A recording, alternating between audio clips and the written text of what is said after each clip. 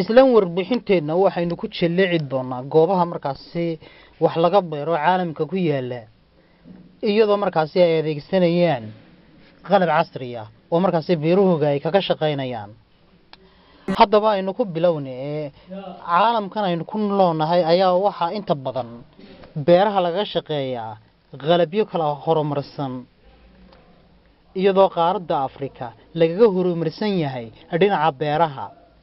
sababtu wax kale ma aha ee waa mashiinada iyo qalabka casriga ah ee markaasi ay isticmaalayaan.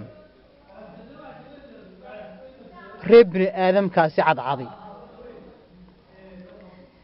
qalabkani marka uu beertii marka sallaxa ee uu ka shaqeeyo ayaa marka dambe looma baahanayo in markaasi midhaha lagaga guran gacanta balse waxaa kala hagaajinaya oo kala nidaaminaya mashiino casri ah dabeetana waxaa loo gudbinayaa markaasi mashiinkaasi kala nidaaminaya ee markaasi kala habaynaya. Kabacdi waxaa lagu moorinayaa bicihii markaasi caalamka raashinka loogu kala diri lahaa. Inkastoo raashinka dibadda ka yimaada ay ka fiican yihiin raashinka waddanka gudihiisa inooga baxa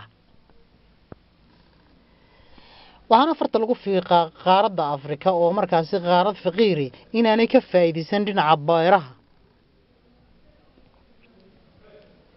Taasi waxay keentay in markaasi raashin fara badan in markaasi hay'adaha caalamku markaasi inoo soo daabulaan xillidayaha ay markaasi roobabka waaweyni inoo da'ayaan iyadoo loo baahan yahay in biyaha iyo markaasi wax kastaba